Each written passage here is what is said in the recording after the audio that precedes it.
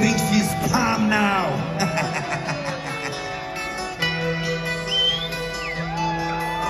Thank you so much, San Antonio. Absolutely fucking fantastic to be back here. Thank you so much.